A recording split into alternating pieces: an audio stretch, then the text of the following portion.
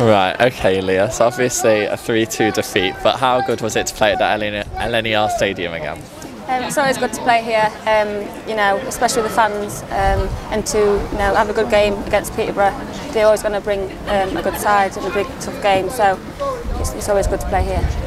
And it felt like your side were really unfortunate to come away with a defeat today. You played really well, particularly in that first half. Yeah, it's like I say, to, to play how we did against this team, um, it's always unfortunate to come away with a defeat.